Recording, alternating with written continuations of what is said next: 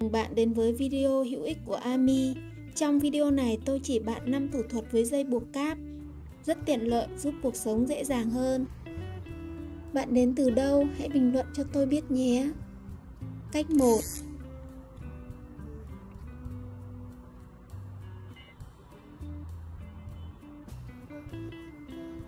Tôi sẽ chỉ bạn cách tháo dây cáp ra dễ dàng.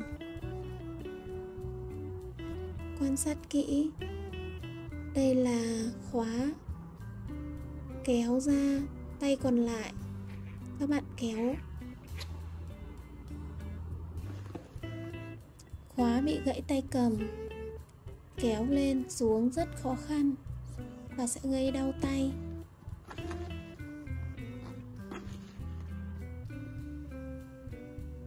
Sử dụng dây cáp nhỏ.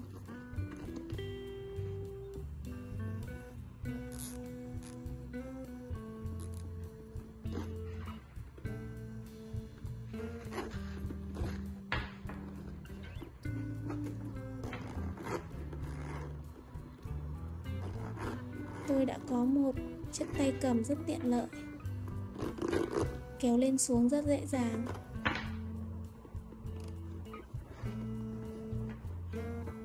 Dùng kéo cắt ngắn đi.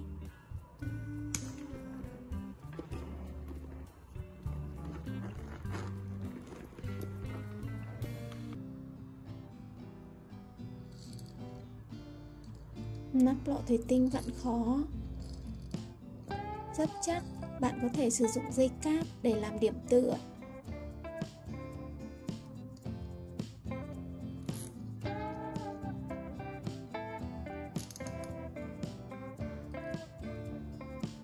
Thiết chặt.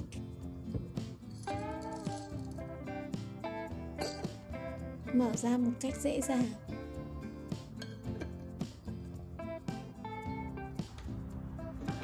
Điều khóa trong nhà chúng ta rất là lộn xộn.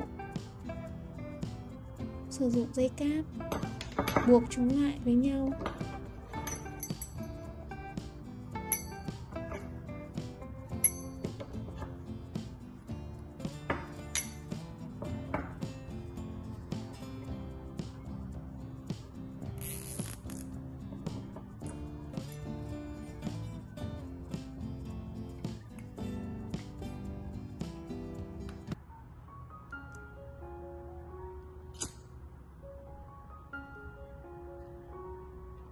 Chúng ta muốn bảo quản bật lửa để mang đi xa, Để trong túi sách không được an toàn, Các bạn có thể dùng dây buộc cáp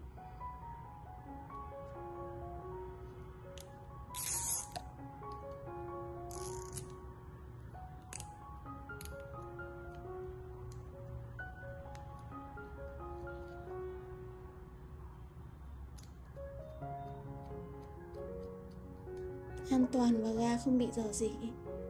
Cảm ơn bạn đã theo dõi video. Hẹn gặp bạn ở những video tiếp theo.